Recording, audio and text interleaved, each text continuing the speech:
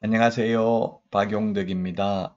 2024년 제35회 공인중개사 시험 대비 기출 보객이 18회 25번 문제 보도록 하겠습니다. 협회에 대해서 옳은 것은 했는데 어, 협회가 계약서 표준 서식을 정하는 게 아니라 국토부 장관이 표준 서식을 정해서 사용을 권장할 수 있습니다. 자, 그 다음에 2번은 발기인은 200명이 아니고 300명 이상이 발기인이 되어야 있어야 됩니다. 그리고 국토부 장관 허가받는 게 아니라 인가받아 등기함으로써 성립합니다. 창립총회 참석 인원은 전국적으로 600명 이상, 서울특별시에서 100명 이상, 광역시 및도에서 20명 이상이 참석을 해야 되죠. 자, 그 다음에 3번입니다.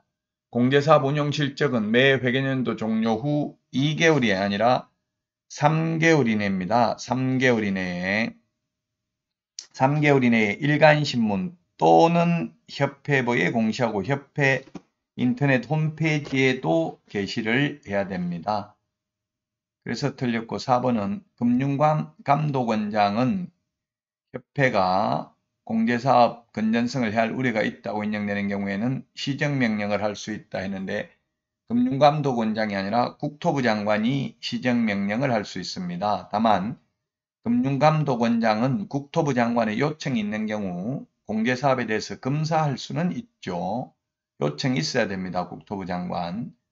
5번, 4번 틀렸고요. 5번 협회는 공제의 책임준비금을 다른 용도로 사용하고자 하는 경우에는 국토부 장관 승인을 얻어야 됩니다. 그렇죠.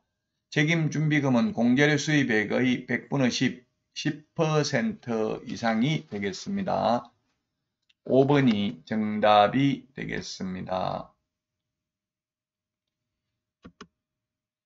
다음은 26번 문제입니다. 벌칙에 대해서 옳은 거 되는데 1번 개업공개사가 중개상물 매매를 업으로 한 경우에 등록을 취소할 수 있고 1년 이하의 전액이나 1천만원 이하의 벌금에 처한다. 우리 암기 프린트는 11번에 있습니다. 암기 프린트는 네이버 카페 박용덕 박사의 부동산 여행에서 다운로드 받을 수 있습니다. 자, 1번이 옳은 내용이 되겠고요. 그 다음에 2번 지문 보도록 하겠습니다. 중개사무소를 두 개 이상의 두 개 이상 둔 경우 개업공개사와 임시중개시설물을 설치한 개업공개사의 벌칙 내용은 다르다 했는데 이중사무소 임시중개시설물 뜻다방 둘 다 1년 이하의 진행이나 천만원 이하의 벌금이고 등록을 취소할 수 있는 것 똑같습니다. 그래서 틀렸고요. 3번입니다. 거짓 부정한 방법으로 자격을 취득한 경우 자격 취소해야 되고요. 자격 취소해야 되지만 3년 이하의 진역이나 3천만 원 이하의 벌금에는 해당되지 않습니다. 부정한 방법으로 자격 취득해도 부정한 방법으로 등록한 경우에는 3년 이하의 진역이나 3천만 원 이하의 벌금에 해당되죠. 폐업한 후에는 비밀 누설이 된다. 죽을 때까지 건물을 떠난 후에도 비밀 누설 하면 안 됩니다. 영원히 비밀은 지켜야 됩니다. 업무상 알게 된 비밀. 5번 가태료 처분에 불복이 있는 자는 그 처분 고지를 받은 날로부터 30일 이내가 아니라 60일 이내죠. 60일 이내. 60일 이내 간할 법원이 아니라 처분청에 이제기할 수 있습니다. 질서 위반행위 규제법에 있습니다. 정답은 1번이 되겠습니다. 다음은 27번 문제 보도록 하겠습니다. 판례 내용 중에서 옳은 것은 했는데 1번 무등록 개업공개사의 중개행위가 부동산 컨설팅 행위에 부수하여 이루어진 경우에 중개업에 해당되지 않는다 했는데 해당된다는 게 판례의 입장입니다. 어, 주된 업무가 컨설팅이고 부수적으로 중개업을 했다 하더라도 중개를 업으로 했다면 중개업에 해당된다. 즉 무등록 중개업자로 처벌받는다는 뜻입니다. 컨설팅업자도. 자, 그 다음에 2번 중개보수를 초과해서 수표를 받았지만 부도가 나가지고 현금화하지 못했다 하더라도 위반입니다. 이미 수표를 받은 게 기수범입니다. 그래서 부도 나서 현금화하지 못해도 공인중개사법 위반이다. 자, 그 다음에 3번 중, 중간 생략 등기의 방법으로 단기 전매하여 각종 세금을 포탈하려는 것을 알고도 이에 동조하여 그 전매를 중개한 경우 결과적으로 전매 차익을 올리지 못하였다 하더라도 투기조장에 해당된다. 예, 양도소득세는 안 냈다 하더라도 취득세는 탈세할 목적이 있었죠. 양도소득세는 양도 차익이 없으면 안 내기는 합니다. 비록 양, 양도 차익을 올리지 못했다 하더라도 미등기 전매금은 취득세를 탈세할 목적이 있었기 때문에 투기조장이 되겠습니다. 자, 다음은 4번 지문을 보도록 하겠습니다. 중개 보조원이 고의 또는 과실로 거래 당사자에게 손해를 입힌 경우 그 보조원을 고용한 개업공개사만이 손해배상 책임을 진다 했는데 만이 아니라 만자가 틀렸죠. 만. 그를 고용한 개업공개사만이 아니라 당연히 직원 책임 있고요. 사장에게도 책임 있는 거지. 직원 책임은 없고 직원 잘못했는데 사장에게만 책임이 있는 것은 아닙니다. 자, 그 다음에 5번입니다.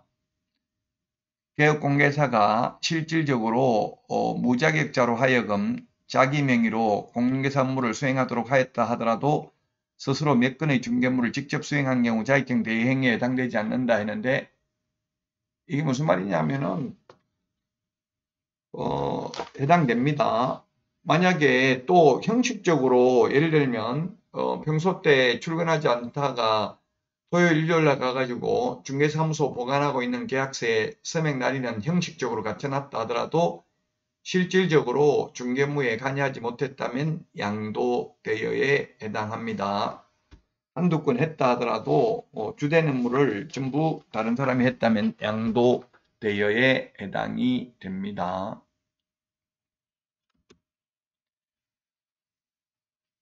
자, 다음은 28번 문제 보겠습니다. 틀린 것은 했는데 자격정지 처분은 자격증을 교부한 시도의사가 하고 업무정지 처분 등록관 정의한다. 맞습니다. 자격 뿌린 자가 그둘이라 제가 이런 말씀을 드렸죠. 자격증을 교부한 시도의사가 자격 취소합니다. 등록해준 사람이 업무정지 처분합니다. 등록관 정의. 자, 그 다음에 자격정지 처분의 대상은 소속공인회사이나 업무정지 처분 대상은 개업공개사입니다. 둘 다 업무를 못하는데 소속공인회사가 업무 못하는 것을 자격정지라는 표현을 쓰고 있습니다. 3번 자격 정지기간 또는 업무 정지기간 중에 있는 자는 중개물을 할수 없다. 예, 그렇습니다. 결격 사유입니다. 폐업하더라도 그 정지기간 동안은 중개무에 종사할 수 없습니다. 다시 개업하는 것도 안 됩니다.